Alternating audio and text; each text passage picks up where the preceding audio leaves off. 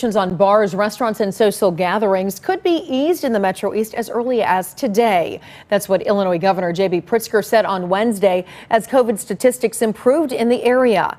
The latest COVID 19 restrictions for the Metro East have been in place since September 2nd. Bars and restaurants currently cannot provide any indoor service and must close at 11. Casinos also close at 11 and are limited to a 25% capacity. Meetings and social events limited to 25 people or 25% capacity, whichever is less.